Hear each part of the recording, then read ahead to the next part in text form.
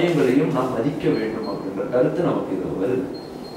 அதே நேரத்துல நம்ம மதித்தல் அப்படின்றதுல அதே கருத்தை உள்வாங்கி அதாவது இருத்தல் அது ஒரு உண்மை. ஏன்னா வரலாற்று உண்மை. இதை நம்ம மறுப்பதற்கோ இல்லை அது இருக்கக்கூடாதுன்ற சொல்றதுக்கோ நமக்கு அது கிடையாது. ஏன்னா நம்ம இங்க இந்த உலகத்துல என்ன செய்யறோம்? இறை சம்பந்தத்தை உருவாக்குகின்ற முயற்சிகள் பல கோணங்கள் நடக்குது. அதுக்கு என்ன செய்யறாங்க? வரம்பு வைக்கிறாங்க.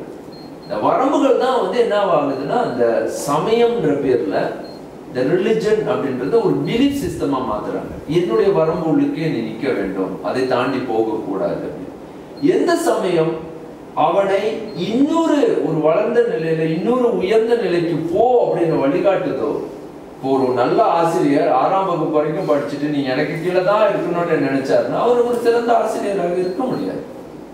ஒரு நல்ல ஆசான் என்பவன் என்னவாக இருக்க வேண்டும்னா என்னை நீ படிச்சு விட்டா முழுசா புரிஞ்சுக்கிட்ட கடந்து போ. கடந்து போறதுக்கு உனக்கு இன்னொரு வழி இருக்குமானால் உனக்கு அதோடைய ஆற்றல் இருந்தா நீ இன்னும் தாண்டி போ. அதுதான் வந்து அழகா தாய்மானவர் சொல்லுவார். அதாவது பல வினைகள் பாத்தீங்க அப்படின்னு சொன்னாக்கா முதல்ல வந்து பல வினைகளை வந்து உள்வாங்கி சைவம் என்பது பல வினைகளை காட்டி அதையும் தாண்டி செல்கின்ற ஒரு நிலைப்பாடு. அப்போ இதையும் வந்து முக்தி நெறி அறியாத மூர்க்கரோடு முயல்வேனே. பக்தி நெறி அறிவித்து பல வினைகள் பழம் வினைகள் காணும் மண்ணும் பாரும் மண்ணும் அப்படின்னு ரொம்ப அழகாக ஒரு பாடல் மாணிக்கவாசிகள் பாடல் அப்போ ரொம்ப அழகான ஒரு விளக்கம் அதுல வருது. அதாவது எதுதான் தெளிவு அப்படின்னு சொல்லாம மூர்க்கத்தனம் பண்ணிட்டு அடம் பண்ணிக்கிட்டு இருக்கிறவங்களுக்கு ஒரு விளக்கம் இதுல வருது. பக்தினா என்னன்னு தெரியாம எது பக்தின்னு தெரியாம மனித தலைகளை வெட்டி பழி கொள்றது? இதெல்லாம் பக்தின்னு சொன்னா இது எந்த வகையில மனித வரும்? அப்ப நிச்சயமா இது பக்தி கிடையாது. அப்ப பக்தி நெறி அறிவிக்கின்ற பண்பாடு நம்ம கிட்ட இருக்கு. இது இல்லையா பக்தி? நீ வளர்க்கின்ற பக்தி எது அப்படின்னு. அப்போ இங்க நல்லா புரிந்து கொள்ள வேண்டியது இதுதான். அவன் வந்து உடனே எல்லாத்தையும் ஏற்றுக்கொள்றான். அந்த பண்பாடையும் வளர்க்கலாம் அதே நேரத்தில் அறிவியலை விட்டு நம்ம விலகலை. அதே நேரத்தில் உண்மையை எப்படி காட்ட முயற்சி பண்ணுறோன்னா ஒவ்வொரு நிலைகள்லையும் மனிதனை மேம்படுத்துகிற முயற்சிகள் நம்மகிட்ட இருந்துட்டு அப்போ அதனுடைய அடுத்த பகுதியாக நம்ம பார்க்கும் பொழுது சமய சைவ சமயம் அப்படின்னும் பொழுது இயலிய நூல் நெறி ஏரண அறிவியல் அப்படின்ற ஒரு வார்த்தையை நான் பயன்படுத்தியிருக்கேன். ஏன் இப்போனா இப்போ இவ்வளதையும் பார்த்த பிறகு நமக்கு தெரியுது என்ன வார்த்தைகள். Saiva religion is a science of phenomenal hermeneutic logics ஒரு ஆழமான ஒரு லாஜிக்ஸை பயன்படுத்து என்ன லாஜிக் இது பாருங்க அது அழகா திருமூலர் முதல் பார்த்தீங்கன்னா சைவத்துக்கு முதல் விளக்கமே வந்து திருமூலர் தான் கொடுக்குறாரு. ரொம்ப நுட்பம். அது கொடுக்கின்ற அந்த நுட்பத்தை நீங்க நல்லா பாத்தீங்கன்னாக்கா எவ்வளவு அழகாக கொடுக்குறாரு. அப்ப அது வந்து ஒரு ஹெர்மனோட்டிக்கல் ஃபெனமனா ஹெர்மனோட்டிக்னா இயலிய நூல்நெறி அப்படின்னா மனிதனுடைய உணர்வுகளை உள்வாங்கி அதுல இருக்கக்கூடிய லாஜிக்ஸ் எப்படி புரிஞ்சுக்கிறது அப்படின்ற அந்த சமயம் அது அந்த லாஜிக்ஸை வந்து தான் முதல்ல அதை வெளிப்படுத்தி அப்போ மிகப்பெரிய லாஜிக்ஸை முதல்ல அது காட்டுது. அடுத்தது சைவ சமயம் என்பது வாழ்வியல் உயிர்ப்பியல். ஆஹ் இருத்தலியல் கட்டமைப்பு புலனாய்வின் இயலிய போதனா செயல்முறையாகும். Saivam is an structural existential investigative process of natural natural என்ன அப்படின்னு சொன்னா இப்ப இந்த விளக்கத்தை புரிந்து கொண்ட பிறகு நமக்கு தெரிஞ்சிருச்சு. It's investigation of natural pedagogy இயல் இயற்கை எனக்கு கற்றுக் கொடுக்கின்ற பாடத்தை நான் எப்படி கற்றுக்கொள்ள வேண்டும் அப்படின்ற என்னை பக்குவப்படுத்திக் கொள்ற அந்த முயற்சி தான் சைவமாக அப்ப இங்க சைவம் என்பது மீண்டும் அதை பார்க்கும்போது இட்ஸ் அ பியூர் சயின்ஸ் இது வந்து ஒரு பிலீஃப் சிஸ்டமே கிடையாது இந்த ஃபர்ஸ்ட் பிளேஸ் இப்போ நீங்க என்ன பண்றீங்க? நான் இதை நம்பணும் அப்படின்னு. நீங்க என்னைக்காவது கேட்டீங்களா நான் ஏரோஸ்பேஸ்ல படிக்கிற பாடங்கள் எல்லாத்தையும் நான் நம்புறேன் அப்படின்னு. நெவர் ஏன் because is a facts is a phenomenal truth is basically பார்த்தீங்கன்னா நேச்சுரல் லாஜிக்ஸ் அதில் இருக்கு. எல்லாமே உண்மையா இருக்கு. And I can test I can verify I can validate இப்படி எல்லா பொருத்தங்களும் உள்ள ஒரு உண்மையை நீங்க பார்க்கும்போது அதுல இன்னைக்காவது சொல்லியிருக்கீங்களா நான் வந்து இதை நம்புறேன். ஏரோஸ்பேஸை நான் நம்புறேன் அப்படின்ற வார்த்தையை பயன்படுத்துறீங்களா? வில் யூ எஸ் நீங்க வந்து நம்புறேன்ற அந்த கருத்து அங்க வராது. ஏன்னு புரியுதா. ஏன்னா பிகாஸ் என்னன்னா நான் நம்புறேன் அப்படின்னு சொல்லும் போது இதுல என்ன கேள்வி வருதுன்னா யூ பிலீவ் அப்படின்னு நான் சொல்றேன் நான் வந்து இதை நம்புங்க அப்படின்னு சொல்லும் போது வாய் வாய் ஷுட் ஐ அது ஒரு உண்மை இருக்கும்போது I don't need to believe தெரியுங்களா? ஐ கேன் ரியலைஸ் என்னால் ஃபீல் பண்ணுது. That is a truth is a facts அப்போ இதுக்கு வந்து ஒரு பிலீஃப் அப்படின்னு சொன்னால் it may correct may not அப்படின்ற ஒரு கருத்து வருதா இல்லையா? அது சரியா இருக்கலாம் சரியா இல்லாமல் இருக்கலாம். அப்பதான் நீங்கள் பிலீவ் பண்ணணும். பிலீஃப்னா you don't know certain induction process பார்ப்பீங்க therefore it could be ரைட்டா இருக்கலாம் இல்லாமலும் இருக்கலாம். சரியா? It's unknown to me. Therefore i accept the facts based on certain criteria certain assumptions. அந்த அளவுல தான் அது இருக்கும். ஆனா நீங்க அதை அதே வந்து ஏரோஸ்பேஸ் படிக்கும்போது certain assumptionலயே போயிட்டு இருக்கீங்க இல்ல. ஏன் அது சயின்ஸ் அப்படியே ரியலைஸ் பண்றீங்க? யா எனக்கு அது தெரியுது. அதுதான் ரிலிஜனா இருக்கும். இப்போ சயின்டிஸ்ட் என்ன செஞ்சாங்க? இதுதான் ரிலிஜனை கொண்டு வந்தாங்க. ஆனால் அவங்க என்ன பிரச்சனை அவங்களுக்கு அவங்களும் ஒரு பிலீஃப் சிஸ்டம் கொண்டுட்டு வந்தாங்க ஆக போக போக அவங்க ஒரு பிலீஃப் சிஸ்டம் அதை தான் நம்ம முன்னுக்கு ஆராய்ச்சி பண்ணோம் அப்போ கடவுள் அதில் வர முடியாது வரக்கூடாது. இதை நான் கொண்டு வந்தாங்கன்னா அது வந்து சயின்ஸ் ஆகாது அப்படின்னு அவங்க ஒரு இன்னொரு பிலீஃப் சிஸ்டத்தை அதுகளுக்கு புகுத்த ஆரம்பிச்சாங்க. இப்போ நம்ம என்ன சொல்றோம்? இந்த ப்ராசஸ் வந்து ஒரு சயின்டிஸ்டாக இருக்கிறாங்களோ இல்லையோ ஒரு உண்மையை உணர்றதுக்கு எல்லாத்துக்கும் அது பொது உண்மை. அப்ப சமயம் என்பதே அதுவா தான் இருக்கணும். இப்ப natural phenomena natural facts natural truth அப்படின்னும் பொழுது எனக்கு நேச்சர் எனக்கு கற்றுக் கொடுக்கறத நான் சரியா கத்துக்கிட்டே வரும்போது அதுல எனக்கு எந்த இதுவும் கிடையாது இடர்பாடும் கிடையாது. அப்ப அதுதான் என்னுடைய சமயமா இருக்கணும். ரைட்டர் இல்லையா? சரியா? இல்லையா அப்போ இதுதான் நம்ம வந்து நாம வந்து இன்னைக்கு விட்டுட்டோம். அப்ப நம்மளுடைய பாரம்பரியம் வந்து சமயம் அப்படின்ற அந்த பார்வையை எப்படி உருவாக்குது அப்படின்னு சொன்னா நீங்க எப்படி உங்களுடைய அறிவை விரிவாக்கம் செய்யறதுக்கு எது எந்த மாதிரி உணர்வுகளை ஏற்படுத்துது? அதை எப்படி நான் ரியலைஸ் பண்றேன்? அந்த ரியலைசேஷன் எனக்கு எப்படி கொண்டு வருது அப்படின்னு. அதனால இன்னைக்கு என்ன ஆயிடுச்சு அப்படின்னு சொல்லும்போது ஏன் என்னால சில சமயத்தை நான் ஏற்றுக்கொள்ள முடியல? இந்த சில சமயங்கள்ல அந்த ரிலிஜன் என்னால ஏற்றுக்கொள்ள முடியுது அப்படின்னா பிகாஸ் அது வந்து நேச்சுரலி அந்த பெடபஜின்னு சொல்லக்கூடிய அந்த போதனாவியல் அந்த அறிவு வந்து என் உள்ளுக்கு என்னால ரியலைஸ் பண்ண முடியுது. ரொம்ப அதாவது என்ன விளக்குது? எனக்கு அந்த ரியலைசேஷனை கொடுக்குது என்னை இன்னும் தெளிவாக்குது என்னுடைய உணர்வுகளை இன்னும் விரிக்குது விரிவாக்கம் செய்யுது அதனால தான் சொல்றது அந்த சிவம் சாறுதல் அப்படின்றத என் உள்ளத்துல ஒரு உணர்வு ஆனந்தத்தை உருவாக்கும் ஒரு பீஸ் இருக்கு ஒரு பிளிஸ்ட் இருக்கு ஒரு ஒரு விதமான உணர்வு. உண்மையிலே அப்படின்ற மாதிரி. ஆனால் இதெல்லாம் எங்கே கிடைக்குது அப்படின்ற பொழுது இப்போ பொதுவாகவே வந்து அறிவியல் துறையில் தான் கிடைக்குது. இது இதெல்லாமே என்னன்னா சயின்டிபிக் ஒரு குரூப் அப்படின்னு சொல்லிட்டு அவங்க செட் பண்ண அந்த அறிவுகளுக்கு தான் நுழையும் ஆனால் உள்ள நுழையும் வந்து அவங்களுக்கு சில சிக்கல்கள் அவங்க அன்னோட எப்படி டேக்கிள் பண்ணுறாங்க அப்படின்னு. இது தெரியாது புலப்படாது இதெல்லாம் முடியாது அப்படின்னு. இப்போ என்ன ஒரு உதாரணத்துக்கு நான் சொல்லும்போது உங்கள் ஃபிசிக்கல் ஃபெனமினாவை விளக்கிடுவாங்க சரி. உங்க உள்ளுக்கு ஒரு உயிர்னு நீங்க இருக்கிறீங்க நீங்க இருக்கிறீங்க ஒரு உயிர்னு நீங்க இருக்கிறீங்க ஒரு உயிர் நான் அந்த உயிரை அக்செப்ட் பண்ண மாட்டேன். அப்படின்னு சயின்ஸ் சொல்லும் போது இது பாரு நான் இருக்கிறேங்க.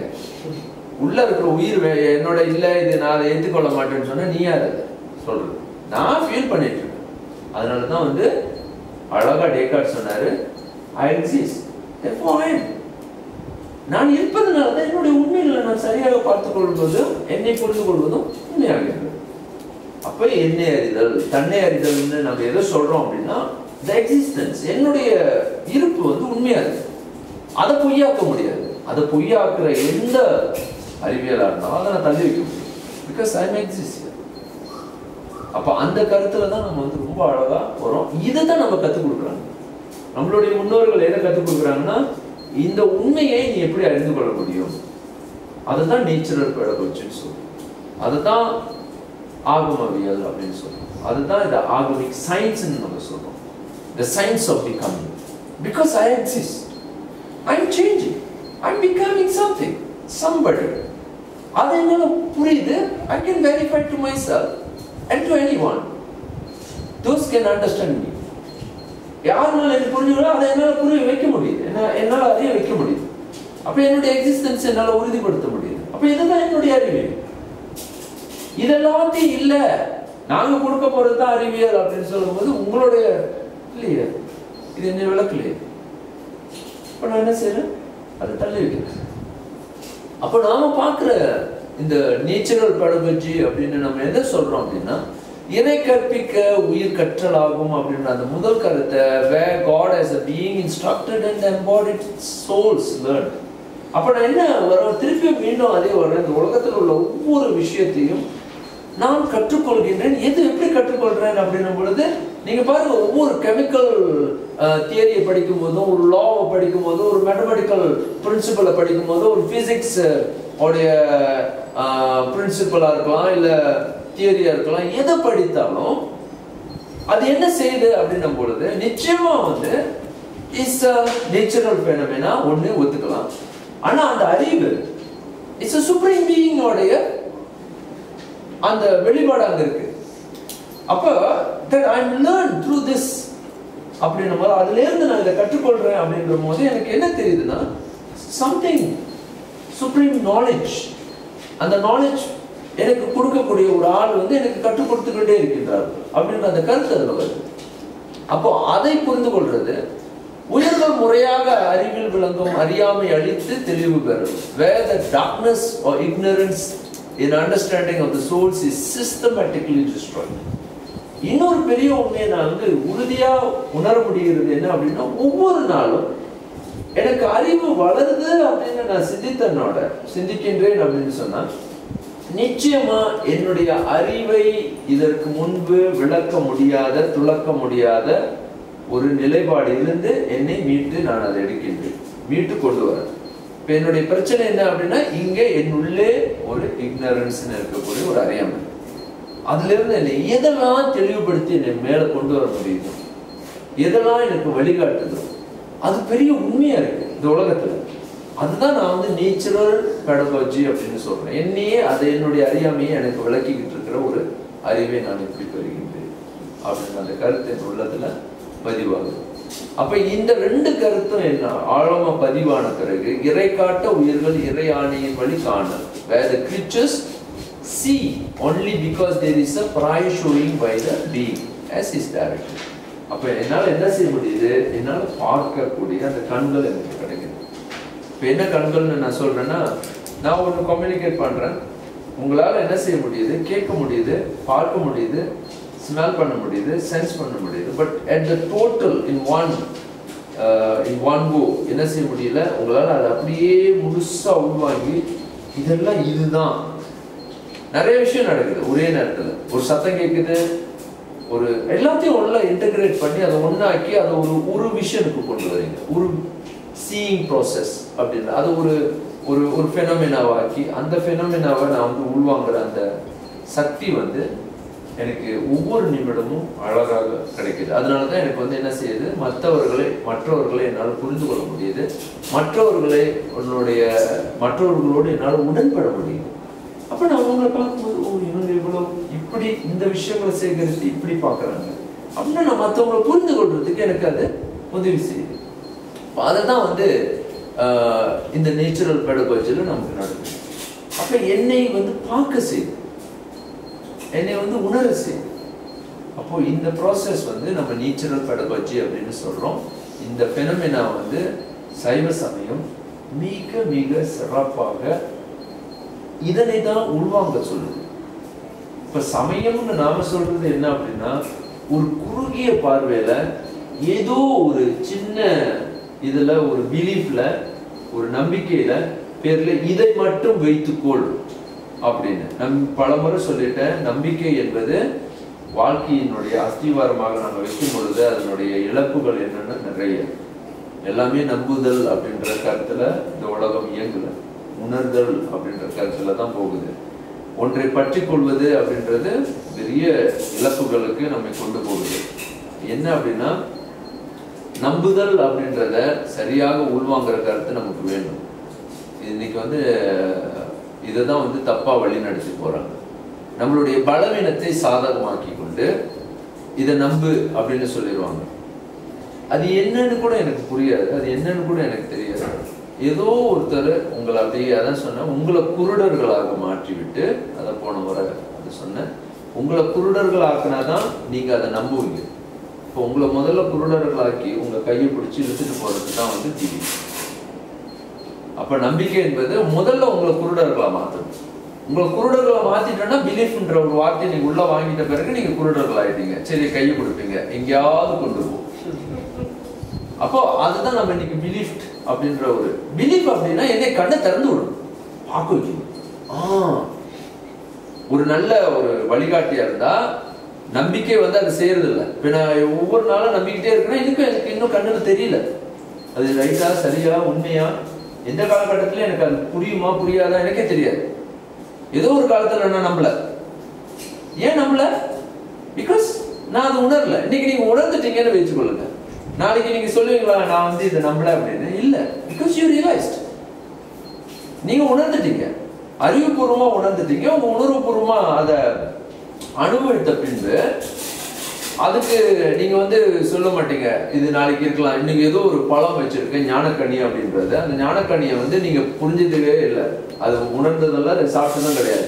அப்ப ஞானக்கனின்னு ஒண்ணு இருக்குன்னு வச்சுக்கொள்வோம் அது இருக்கலாம் அப்படின்னு. இது நாளைக்கு அன்பா வந்து சொல்லுவாரு ஞானக்கனி வந்து பிடிக்கும் அப்படின்னு. ஓ அப்படியா? பிடிக்குமா சரி இன்னைக்கு அப்படின்னு. அப்ப ஞானக்கனி பிடிக்கும் அப்படின்னு. நாளைக்கு இன்னொருத்தர் லோகா வந்து சொல்லுவாரு ஞானக்கனி வந்து கசக்கும் அப்படின்னு. கசக்குமா? அப்போ ஒவ்வொருத்தரும் என்ன சொல்லிட்டு இருக்காங்களோ அதை நம்பிக்கிட்டே இருக்க வேண்டியதுதான். ஆனால் அன்லஸ் ஞானக்கண்ணின்னு உண்மையிலே ஒரு கனியை எடுத்து கொடுத்து உங்களை சாப்பிட்ட வச்ச பிறகு இவர் என்ன சொன்னாலும் உங்களுக்கு அதை எப்படி புரிந்து கொள்ளணும்னு தெரியும்.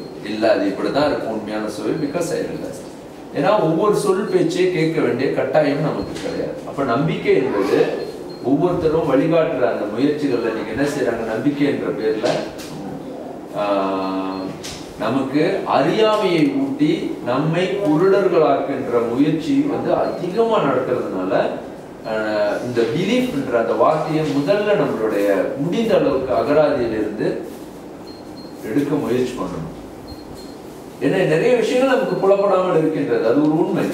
ஆனா அதை என்ன அப்படின்னா பிலீஃப் அப்படின்ற அதிகமான வார்த்தைகளை பயன்படுத்தி அது குறிப்பா சமயம்ன்ற வந்ததோடைய முதல்ல அவங்க திணிக்க வேண்டிய ஒரே கருத்து நம்பு அப்படின்னு சொல்லி உங்களை முழுமையா குருடர்களாக உங்களை குருடர்கள் ஆக்கின பின்பு அவங்க என்ன சொல்றாங்களோ யார் என்ன சொன்னாலும் கண்மூடித்தனமா அதுல போய் பின்பற்றி போகிற அந்த பயிற்சிகள் தான் இன்னைக்கு வந்து அதிகமா நடக்குது அப்ப தெளிவு அப்படின்ற போது நமக்கு வேண்டியது அது எந்த நிலைகள்ல இருந்தாலும் சரி நமக்கு உண்மைகளை பார்ப்பதற்கு அந்த வழிகாட்டல்கள் இருப்பதுதான் ஒரு உண்மையான சமயம் அதை நான் சொன்ன மாதிரி நாலு அழகான இலக்கணங்களை கொடுத்துருக்காரு. இந்த கிராமர் பார்த்தீங்கன்னா இந்த கிராமர் இஸ் வெரி சிம்பிள் இந்த நெட்புக் சரியான முறையில் உங்களுடைய அறிவை விரிவாக்கம் செய்கிற அந்த குரோத்தில் அந்த நெட்வொர்க் எது ஃபார்ம் ஆகுது?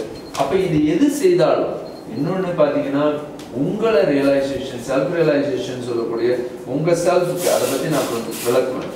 தண்ணி அறிதல்னா என்ன அப்படின்னு. அது ஒரு சாதாரண ப்ராசஸ் கிடையாது. இந்த தண்ணி அறிதல் அப்படின்ற அந்த கருத்து. மூணாவது உங்களை வந்து ஒவ்வொரு உயிர்கள் நீச்சரை விட்டு உங்களை பிரிச்சிடக்கூடாது. உங்களை பிரித்து நான் வேறு இந்த நீச்சல் வேறு அப்படின்னு இல்லாமல் உங்கள் அம்மா அப்பா ஏதாவது ஒரு சமயத்தில் போய் சேர்ந்த பிறகு எங்கள் அம்மா அப்பாலாம் சரியில்லை என்னை சரியாக வழிகாட்டல அப்படின்னு. தன்னை அப்புறம் என்னுடைய அண்ணன்லாம் சரியில்லை அவங்க வேறு சமயம் நான் வேறு சமயம். என்னுடைய சொந்தக்காரவங்க சரியில்லை என் நண்பன் சரியில்லை. இப்படி எல்லாத்தையும் பார்க்கும் பொழுது நான் தான் சரியாக பார்த்துட்டு இருக்கேன் நான் வந்து புரியல அப்படின்னா தன்னை வேறுபடுத்தி காட்டுறதும் சமயம் கிடையாது. தன்னை வந்து அதை இயற்கையோட அடுத்தது நான்காவது மனதில் உங்கள் உள்ளத்தில் என்றைக்குமே வந்து ஒரு உண்மையான அந்த நல் உணர்வு. அதான் நன்னயம்னு அழகாக தமிழில் சொல்லுவாங்க நன்னய உணர்வு. ஒரு நல்லது பண்ணுறேன் நல்லது செய்கிறேன் அப்படின்னு உள்ளார்ந்த முறையில் உங்களை நகர்த்தி கொண்டிருக்கக்கூடிய ஒரு ஆழமான ஒரு உண்மை உணர்வு. ஆனந்தமாக அப்படின்னா ஒரு சந்தோஷம் மகிழ்ச்சி கூத்து அதெல்லாம் கிடையாது. இது வந்து ஒரு உன்னதமான புனிதமான ஒரு இயல்பான உங்ககிட்ட ஏற்படக்கூடிய மன அமைதியும் மன சாந்தியும் ஒரு ஒரு